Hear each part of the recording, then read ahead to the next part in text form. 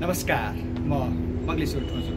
Hello Durga congratulation thank you sir राधिकालाई पनि congratulation दुर्गाले जुन ह्युम्यानिटिजमा topper बन्नुभएको छ होइन आफूलाई कस्तो लाग्छ? मलाई त एकदम राम्रो लागेको छ। र ह्युम्यानिटिजबाट म टपर क्लास टुवेल्भको टपर हुन्छु भनेर मैले सोचेको थिइनँ। हजुर। तर बाई चान्स म टपर भएँ यसमा मलाई धेरै खुसी लागेको छ। अनि राधिकालाई के को टप्पर अ, टप्पर बन्दाको त्यो खुसीलाई कसरी बाँड्नुहुन्छ खुसीलाई बाँड्नु भनेको अब सरहरूसँगलाई अब सर्वप्रथम सरहरूलाई थ्याङ्क यू भन्नुपर्छ किन भन्दाखेरि हजुर। जतिसुकै टपर भए पनि एउटा स्कुलको इन्भाइरोमेन्ट अनि टिचरको सपोर्टले नै टपर क्लास टुवेल्भको। टप्पर है? अनि कुन कुन विषय हो राधिकाको? मेरो चाहिँ अब इन्स्ट्रक्सनल पेडागोजी।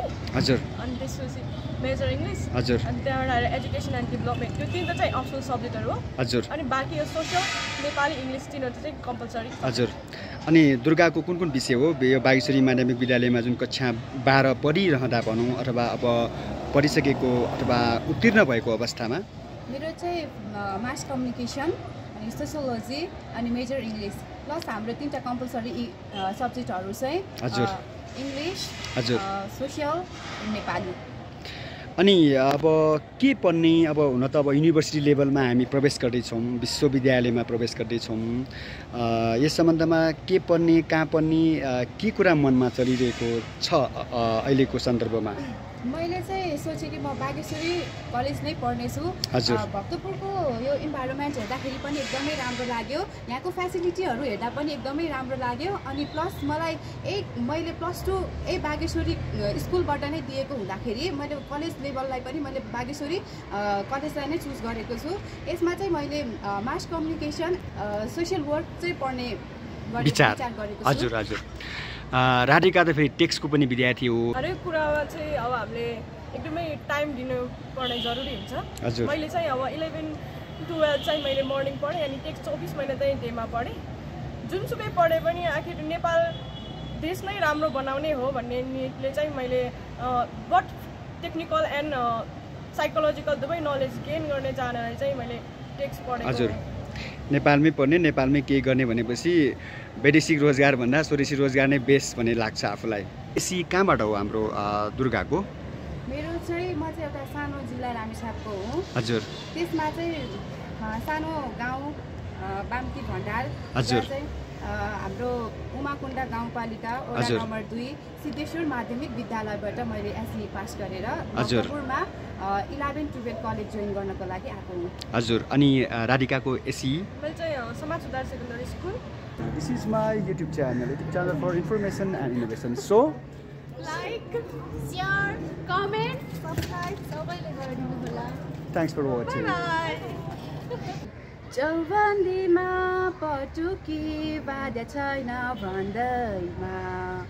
ओखेरीमा घाँस काट्न जाने छैन भन्दैमा। मलाई नेपाली होइन भन्न कहाँ पाइन्छ? म त नेपालको माया गर्ने छोरी।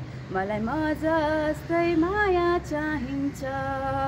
म त नेपालको माया गर्ने छोरी। मलाई म जस्तै माया चाहिन्छ। गुलिबाला दिल माया चले चोङ्गो सा यौसे चो हिसिदुगु यो बन चङ्गु हिसी बेबी गु पहलान चङ्गु छन्ता खने ओ जिगु मन यंसे वोंसे चो छन्ता खने ओ जिगु मन यंसे वोंसे चो छि छङ्गु कुमारी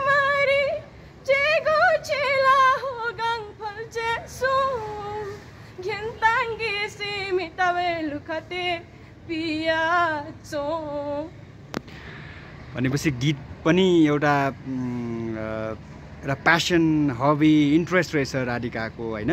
मैले चाहिँ बाँसुरी नै सिकेको छु। हजुर। अनि त्यसपछि दुई तिन दिने एक हप्ते पब्लिक स्पिकिङ पनि सिकेको छु। हजुर। अनि त्यो बाहेक पनि म विभिन्न एक्स्ट्रा करिकुलर एक्टिभिटिजमा पनि पार्ट लिने गर्छु जस्तै अब स्पिच कन्टेस्टहरूमा भयो। एसे राइटिङ कम्पिटिसनहरूमा भयो अनि कविता पनि लेख्ने गर्छु। अनि मैले पहिला पहिला पनि तमुजामा एउटा कथा पनि दिएको थियो जुन कथा चाहिँ सेलेक्ट भएको थियो। त्यसले मलाई साहित्यिक ओके। फिल्ममा झन् इन्ट्रेस्ट जगाएको छ। हजुर यही मेसोमा दुर्गा? म चाहिँ एउटा फोटोग्राफी पनि गर्छु। हजुर। अनि त्यसमा मलाई अब गीतहरू पनि भयो अब भिडियो एडिटिङहरू पनि भयो। हजुर। अनि यसमा चाहिँ मैले अब कलेजमा प्रोग्राम हुँदा पनि विभिन्न फिल्डमा मैले बोलेको थिएँ अब स्पिच भयो। अनि अब पोइटहरू लेख्ने अनि तिनीहरू आदिबाट। अ, पोइम लेख्ने।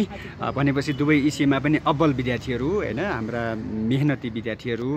राधिकाले क्लास इलेभेन टुवेल्भमा एजुकेसनमा छुटाउनै नहुने कुराहरू। कग्निटिभ थ्योरिजहरू अनि त्यसपछि यो पियाजेटको थ्योरिजहरू अनि त्यो बाहेक पनि हामीले विभिन्न खालको प्याब्लेपियन थ्योरीहरू यो अन्तर्दृष्टि सम्बन्धी सम्पूर्ण कुराहरू चाहिँ हामीले पढ्नुपर्ने हुन्छ। जुन मानव विकाससँग धेरै रिलेटेड छ जसमा चाहिँ अब हाम्रो जन्मदेखि मृत्युसम्म कस्तो कस्तो परिवर्तन आउँछ भन्ने सबै कुराहरू चाहिँ साइकोलोजिकलसँग रिलेटेड छ जुन हामीले चाहिँ पढ्नुपर्ने जरुरी छ जुन हामीले एजुकेसन फिल्डमा आएपछि चाहिँ हामी पढ्न सक्छौँ। अ, प्र्याक्टिकलका कुरा त बाँकी नै छन् होइन? अ, यसरी नै अ, दुर्गाले के भन्नुहुन्छ? विभिन्न क्षेत्रमा मैले भाग लिएको छु जस्तै अब निबन्ध प्रतियोगिता भयो अनि यता खेलकुदबाट पनि पहिला पहिला चाहिँ लिएको थिएँ अहिले पहिला चाहिँ लिएको थिएँ। अहिले चाहिँ अलिकति मेरो स्वास्थ्यको प्रब्लम भएको कारणले मैले खेलकुद प्रतियोगितातिर चाहिँ भाग लिन सकेको छैन।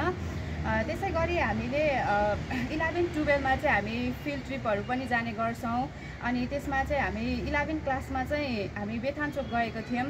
त्यहाँ चाहिँ हामी काभ्रेकै सबैभन्दा उच्च शिखर उच्च ठाउँमा? उच्च ठाउँमा तिन हजार दुई सय किलोमिटर। माथि बेथानचोक नारायण स्थान मन्दिरमा हामी त्यहाँ गएको थियौँ र त्यहाँको वातावरणहरू हेर्दाखेरि एकदमै रमाइलो भएको थियो। भ्रमण हो कि कुनै विषय अन्तर्गत के हो? त्यो चाहिँ हाम्रो भ्रमणै भनौँ न। भ्रमण नै गयो। त्यसमा हामीले अब त्यहाँ गएर चाहिँ हामीले विभिन्न किसिमको त्यहाँको मानिसहरूसँग त्यस क्षेत्रमा हुने खेतीबारीको कुराहरू पनि लिएर हामीले गरेका थियौँ। त्यसमा फिल्ड स्टडी जस्तै पनि भयो। हजुर। अब जुन टुवेल्भमा अध्ययनरत विद्यार्थीहरू भाइ बहिनीहरूलाई के सुझाव दिनुहुन्छ के सल्लाह दिनुहुन्छ राधिका? अब के सल्लाह दिनु भन्दा पनि जुनसुकै फिल्डमा गए पनि त्यसलाई चाहिँ जुनसुकै कार्य गर्नलाई पहिला चाहिँ प्रपर स्टडी गर्नुपर्छ होइन? हजुर। अध्ययन बिना कुनै पनि कार्य राम्रोसँग अघि बढ्न सक्दैन। त्यसैले जुनसुकै विषयवस्तु अब टिचिङमै भए पनि पहिला चाहिँ अब एजुकेसन नै पढेर चाहिँ टिचिङ गर्दा राम्रो हुन्छ भन्ने चाहिँ भन्ने कुरामा चाहिँ म विश्वस्त छु। अब अध्ययनलाई नै फोकस गरेर आफूले कुन कुरा गर्ने हो पहिला प्रि प्लान गर्ने अनि त्यसलाई नै अब त्यो प्लान गरे अनुसारलाई नै टाइम म्यानेज गरेर त्यसलाई फोकस गर्दै गर्दै जाने। अनि अब इक्जाममा जानुपर्छ अल द बेस्ट। अब ओके। अब के पढ्ने विचार छ त दुर्गाको? मेरो चाहिँ अब कहाँ कुन कलेजमा कुन कुन विषय लिएर? ए बागेश्वरी कलेजमा नै। ब्याचलर लेभलमा चाहिँ mass communication and journalism plus social work पढ्न ओके। चाहन्छु राधिका? मैले चाहिँ अब बिएड पढ्ने बिएड पढ्ने विचारमा हुनुहुन्छ। छु ओके। कलेज चाहिँ अब मैले यो यो अहिले यो पढ्ने भनेर सेलेक्ट चाहिँ गरेको छुइनँ। हजुर। जो साथीहरू पास भएका छन् ती विद्यार्थीहरूलाई अथवा जो उत्तीर्ण भएका छैनन् होइन एनजी लागेका छन् ती साथीहरूलाई समग्रमा के भन्नुहुन्छ दुर्गा? यसमा चाहिँ अब आफूले कति सक्छ मेहनत गर्ने आफूलाई कुन टाइम हुन्छ त्यसलाई टाइम म्यानेज गर्ने र त्यसलाई राम्रोसँगले पहिलाको भन्दा पनि राम्रो प्रि प्लानले अ, त्यसलाई चाहिँ पढ्ने अनि कुन टाइममा हामीले अब कसरी त्यसलाई म्यानेज गर्न सक्छौँ त्यसलाई म्यानेज गरेर चाहिँ अनि राम्रोसँगले पढेर। र हाम्रो बागेश्वरी कलेजबाट प्लस टू पास गरेकाहरूलाई चाहिँ हाम्रै बागेश्वरी कलेजमा बिए बिबिएस बिएसडब्लु रहेको छ। यसमा नै यही कलेजमा आउनु भनेर चाहिँ म निम अनुरोध गर्दछु र प्लस म पनि यही कलेजमा अध्ययन गर्न चाहन्छु। हुन्छ त राधिका। टप्पर हुनुभएको छ। अब युनिभर्स युनिभर्सिटी लेभलमा पनि होइन ब्याचलरमा पनि मास्टरमा पनि फर्दर एज फर्दर एजुकेसनमा पनि टप्पर हुन सकोस् भन्ने शुभकामना व्यक्त गर्दछु। हाम्रो राधिका त्यसपछि दुर्गालाई। All the best thanks for your great company है त।